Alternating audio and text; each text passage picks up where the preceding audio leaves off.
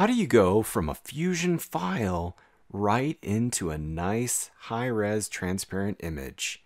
Coming up.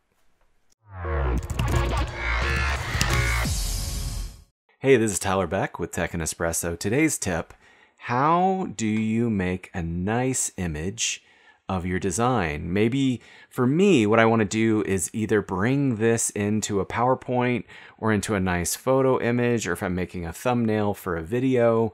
There's lots of reasons that you want to be able to capture an image of this, and maybe you want the background removed. I always do for some of these applications.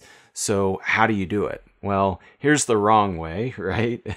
Snipping tool, come in, do your screenshot of the, you know, image that you want, and then you have to go in and remove all that. And there are some tools out there, things like Photoshop, where you can remove that background. And sometimes it's a lot of work, right? Depending on the background. This wouldn't be that bad, but that shading actually would be, it might add a step or two at least, right? So, all of that aside, how do we get it out? Well, go up to File and do Capture Image. You can choose your resolution. It goes up to 1080, which is HD, or you can do your current document window size.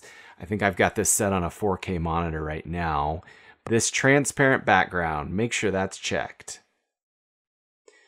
Hit OK. Now save it. I'm going to save it local to my hard drive. So I hit save to my computer and then give it, you know, of course, a name.